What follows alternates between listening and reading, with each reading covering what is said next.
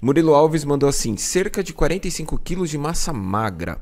Eu, meu peso total, 84 quilos. Tenho 27 anos, 1,76m de altura.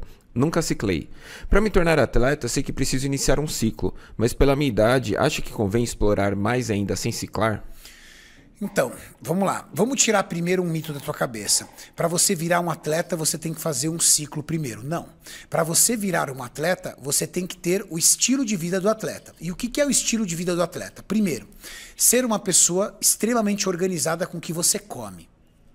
Atleta não sai de casa sem comida, porque comida para atleta é segurança. Você já conseguiu e se habituou a levar marmitas ou isso para você ainda é um paradigma? Segundo ponto, você aprendeu a ser organizado com o seu tempo e ter uma rotina de horário certo para treinar, horário certo para fazer o seu cardio pela manhã, horário certo para ir dormir e horário certo para ir acordar? Para acordar, quase todo mundo tem um horário certo por conta do trabalho. Mas e para dormir? Você tem essa organização? Você já aprendeu a abrir mão dos prazeres da vida, como bebida alcoólica, ou pelo menos o abuso de bebida alcoólica, perder noites em festas, uso de drogas recreativas, falta de empenho no seu treino, a famosa preguiça para treinar pesado. Isso é o que faz um atleta, não é o ciclo.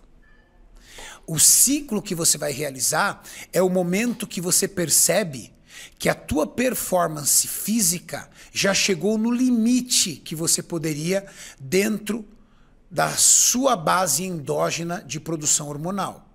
Mas isso, cara, pode ser muito bem explorado através de toda essa mudança de estilo de vida que eu falei para vocês. Eu conheço atletas multicampeões da Men's Physique amadora que até hoje não sabem o que é um hormônio esteroide. Mas vai ver a vida do cara. A vida do cara é doutrina. Doutrina. E eu digo sempre, explico para vocês, um indivíduo natural precisa ser muito mais organizado e disciplinado com o seu dia, porque ele não tem a vantagem anticatabólica que o hormônio esteroide oferece. Você é natural? Você não pode perder uma noite de sono.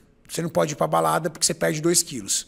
O hormonizado per, vai, vai para vai a balada, perde os mesmos 2 quilos, no outro dia dorme, come e volta os 2 quilos. Porque o hormônio realmente tem essa capacidade de segurar massa muscular. E você não está usando hormônio. Então você vai ter que ser mais regrado. Ah, Renatão, minha vida vai ser chata. Cara, são escolhas. É um estilo de vida. E quando é um estilo de vida, você não reclama, porque você tem esse estilo de vida, você tem que ser feliz com esse estilo de vida.